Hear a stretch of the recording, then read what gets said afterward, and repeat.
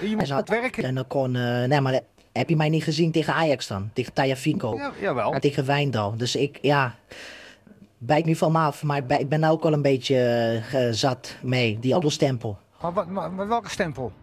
Nou, je vraagt ook, je hebt hard gewerkt vandaag. Doe je dat bij elke wedstrijd dan?